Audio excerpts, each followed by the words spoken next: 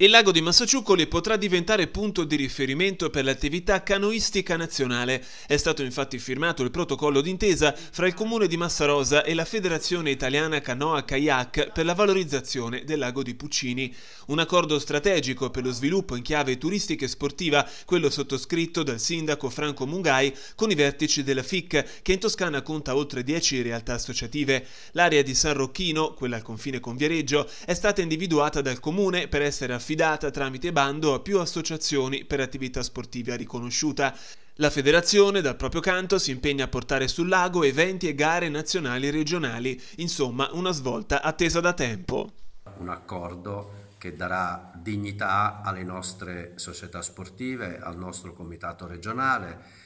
darà uno sviluppo concreto alle attività della canoa in un ambiente fantastico nel rispetto della natura e quindi conforme ai valori che contraddistinguono la nostra federazione. Daremo, come ho detto prima, dignità a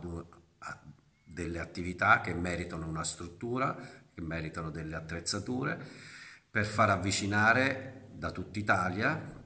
canoiste e canoisti che possono svolgere in piena tranquillità e in un ambiente naturale fantastico lo sport della canoa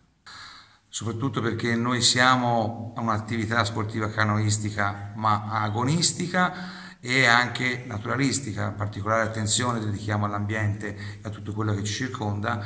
quindi è veramente una eh, cosa importante che oggi abbiamo fatto un passo concreto in questa direzione.